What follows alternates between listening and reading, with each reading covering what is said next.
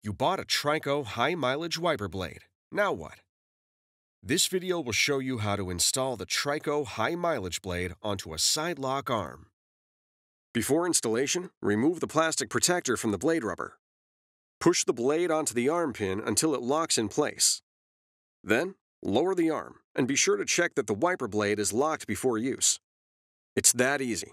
Now you're ready for the road ahead.